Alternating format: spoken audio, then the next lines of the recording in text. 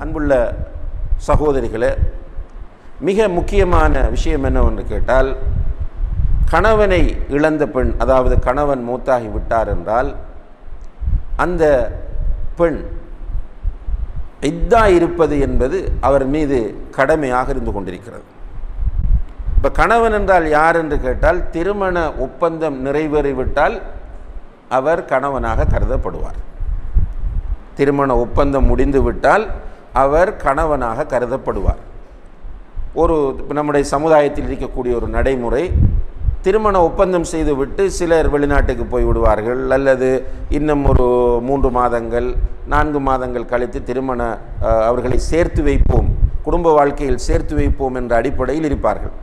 ஆனால் ஒப்பந்தம் நடந்ததோடு திருமண ஒப்பந்தம் மஸ்ஜிதில் வைத்தோ அல்லது வீட்டில் வைத்தோ இஸ்லாமிய வழிகாட்டலின் அடிப்படையில் ஈஜாப் கபூல் செய்து மகர் கொடுத்து அந்த திருமணம் ஒப்பந்தம் நிறைவேறி விட்டது என்று சொன்னால் அவர்கள் இரண்டு பேரும் கணவன் மனைவியாக ஆகிவிடுவார்கள். இப்போ கணவன் மனைவியாக இருக்கிற நேரத்தில் கணவன் மூத்தாகிவிட்டால் அப்போ இந்த பெண்ணும் கணவனோடு சேரவில்லை வாழவில்லை. ஒரு இரவு கூட அவர்கள் இரண்டு பேரும் வாழவில்லை. அப்படி இருந்தாலும் அந்த பெண்ணும் இத்தாரிக்க வேண்டும். நன்றாக நினைவில் வைத்துக் கொள்ளுங்கள். அதே நேரத்தில் அந்த பெண்ணுக்கும் அந்த கணவனுடைய சொத்திலிருந்து பங்கும் இருக்கிறது. அந்த திருமண ஒப்பந்தம் செய்து மனைவியாக இருக்கிற பெண்ணுக்கும் மௌத்தான கணவனுடைய சொத்திலிருந்து பங்கையும் இஸ்லாம் கொடுக்கிறது என்பதையும் இந்த சந்தர்ப்பத்தில் சுட்டிக்காட்ட வேண்டும். அப்போ அந்த பெண்ணும் இத்தாரிக்க வேண்டும். பொதுவாக கணவனை இழந்த பெண்கள் எவ்வளவு காலம் இத்தாரிக்க வேண்டும் என்றால் அவர்களுடைய நிலை இரண்டு தான். ஒன்று கற்பிணியாக இருப்பது இன்னும் ஒன்று கற்பம் இல்லாமல் இருப்பது. இதில் வேறு விளக்கம் எல்லாம் கிடையாது. ஆனால் நிறைய பேர் தலாக்குடைய சட்டத்தை கொண்டு வந்து இங்கே போட்டு குழப்பி குழம்பி போயிருக்கிறார்கள். சிம்பிளாக நீங்கள் புரிந்து கொள்ள வேண்டும். அதனால தான் நான் தலாக்குடைய இத்தாவை பற்றி இந்த சந்தர்ப்பத்தில் பேச விரும்பவில்லை. கணவன் மௌத்தாகி விட்டான் என்றால் அந்த மனைவிக்கு இரண்டு நிலைகள் இருக்கின்றன. ஒன்று கற்பிணியாக அந்த மனைவி இருப்பது அல்லது கற்பிணி இல்லாமல் இருப்பது. கற்பிணியாக இருக்கக்கூடிய பெண் எவ்வளவு காலம் இத்தா இருக்க வேண்டும் என்று கேட்டால் குழந்தை பெறும் வரைக்கும் இத்தா இருக்க வேண்டும். அதனுடைய காலம் எவ்வளவு என்பது அல்லாஹு ஆலம் சில நேரங்களில் இன்று கணவன் மூத்தாகிறார். மனைவி கற்பிணியாக இருக்கிறார். அவர் இன்று இஷாவோடு குழந்தையை பெற்றுவிட்டார். இப்போ கணவன் மூத்தாகிறார் அசருக்கு பிறகு மனைவி இஷாவோடு குழந்தை பெற்று விட்டார் என்றால் இதுதான் முடிஞ்சு. அல்லது கணவன் மூன்று நாட்களுக்கு முன்னர் மூத்தாகிவிட்டார் இன்றைக்கு குழந்தை பிறந்து விட்டது மூன்று நாட்களுக்கு பிறகு இதா முடிந்து விட்டது. கணவன் மூத்தாகும் போது மனைவி கன்சீவாக இருக்கிறார் குழந்தை எட்டு மாதங்களுக்கு பிறகுதான் கிடைக்கிறது. அந்த எட்டு மாதமும் அந்த மனைவி இதாக இருக்க வேண்டும் என்பதை புரிந்து கொள்ள இது மார்க்க சட்டம். கற்பிணி இல்லாத பெண்களை பொறுத்தவரையில் அது அந்த திருமண ஒப்பந்தம் செய்தவர்களாக இருந்தாலும் சரி அல்லது சேர்ந்து வாழக்கூடியவர்களாக இருந்தாலும் சரி அல்லது இந்த தற்காலிகமாக கோவிச்சிட்டு போயிருப்பாங்களே பிரிந்து வாழ்கிறவர்கள் அவர்களாக இருந்தாலும் சரி இப்படி இருக்கக்கூடிய பெண் அல்லது இந்த பெண் வயோதிப பெண்ணாகவும் இருக்கலாம். கணவனுக்கு ஒரு தொண்ணூத்தைந்து வயது மனைவிக்கு தொண்ணூறு வயது. இப்படி ஒரு தொண்ணூறு வயதை அடைந்த நல்ல திடகாத்திரமான புத்தி சுவாதை மூலம் உள்ள பெண்ணாகவும் இருக்கலாம். எப்படியாக இருந்தாலும் அந்த பெண்கள் எல்லோருமே நான்கு மாதங்களும் பத்து நாட்களும் இதாக இருக்க வேண்டும். நான்கு மாதங்களும் பத்து நாட்களும் இதாக இருக்க வேண்டும். இந்த நான்கு மாதங்களையும் பத்து நாட்களையும் எப்படி கணிப்பிடுவது என்று கேட்டால் பிறை அடிப்படையில் தான் கணிப்பிட வேண்டும். நான்கு மாதங்களும் பத்து நாட்களையும் பிறையின் அடிப்படையில் தான் கணிப்பிட வேண்டும்.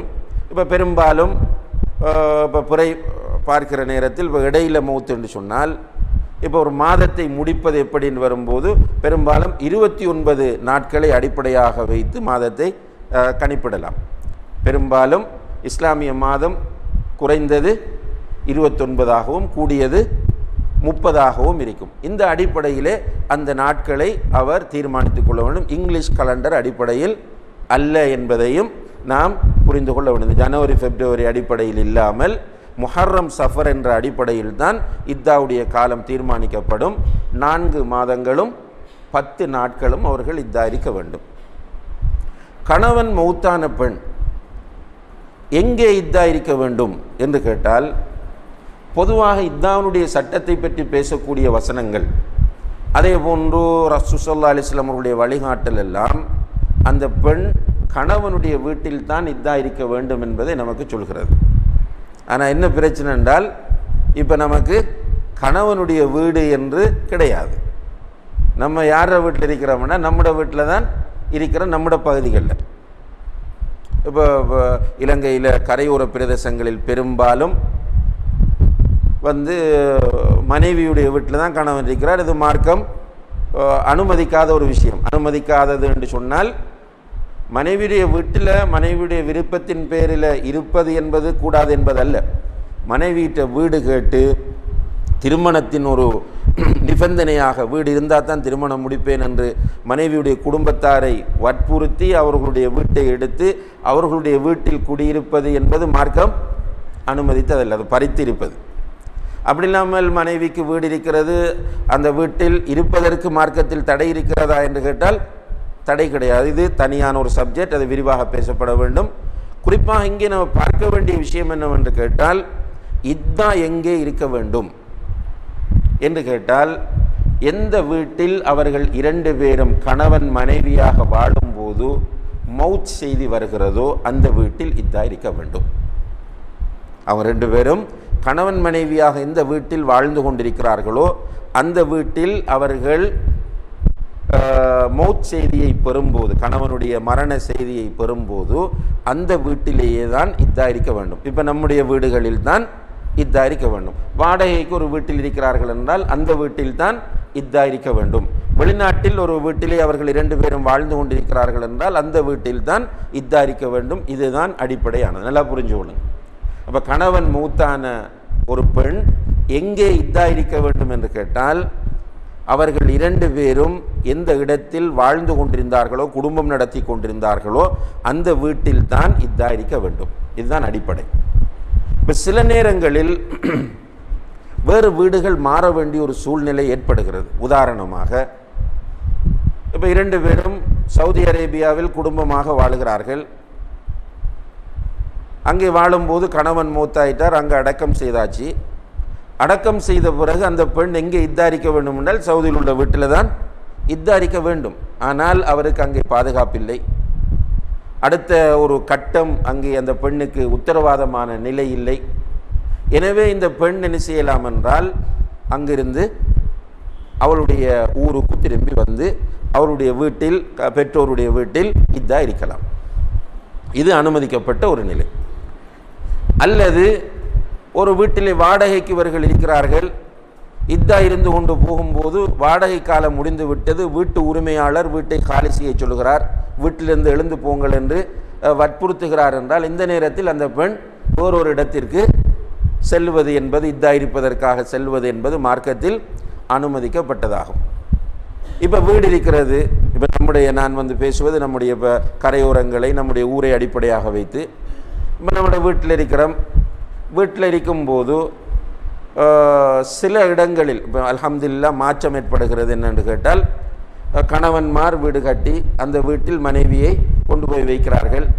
சில நேரங்களில் அந்த வீட்டில் கணவனுடைய பெற்றோரும் இருப்பார்கள்.